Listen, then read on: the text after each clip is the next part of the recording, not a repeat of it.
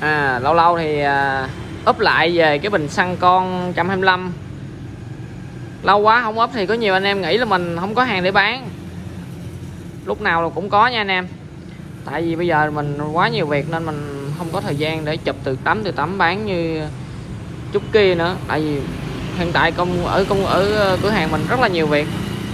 Nên ờ, khách thì cũng mua rất là đều đều. Thì hôm nay à, số quốc thắng mình xin bán một cái bình xăng con 4 ốc zin theo xe Estanda nhưng mà bình này thì nó cái điểm đặc biệt thì anh em chơi nhắc nhìn vô nãy giờ mình quay sơ sơ anh em nhìn thấy rồi.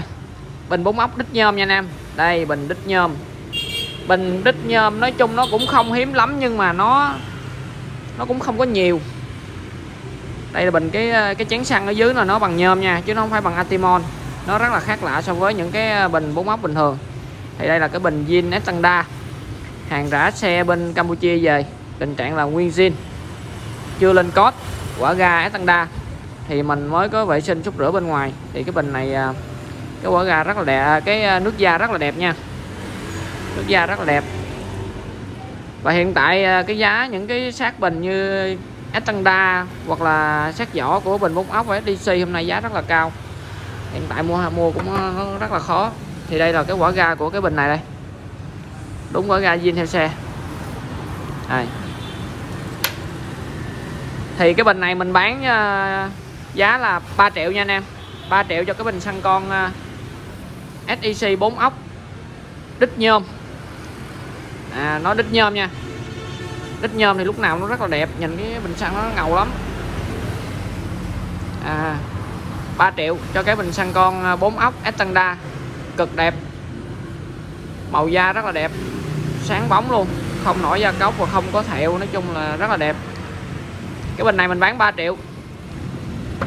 Thì bình xăng này hiện tại là mình à, tháo từ bên cam về chưa test gì hết nên là bán chỉ bao zin.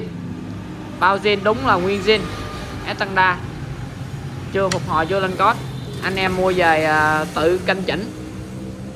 Tự canh chỉnh nha. Chỉ bao zin ngoài ra không bao gì thêm. Tại vì bán giá này thì mình nói chung là mình bán giá là chỉ bao zin nó tăng đa thì nên có giá này. Mình bán là 3 triệu cho cái bình xăng con 4 ốc. Đít nhôm này nha. Anh em nào mà đang tìm kiếm cái bình xăng con đít nhôm này hả? Alo mình nha. 3 triệu cho cái bình xăng con đít nhôm. Bình này rất là đẹp. Hiện tại giá hôm nay mà bình 4 ốc bình thường thôi. Cốt 1 thì nó cũng tầm hết 2 triệu 8 hơn rồi nha anh em ở đây mình bán bình zin nó tăng đa. Tại vì bình này chưa test, nên mình bán cái giá là bằng như bình cốt 1 nha. Mà bình là bình đít nhôm. Anh em có nhu cầu alo mình. Bình xăng con SEC đít nhôm. Cái tăng đa. Giá là 3 triệu.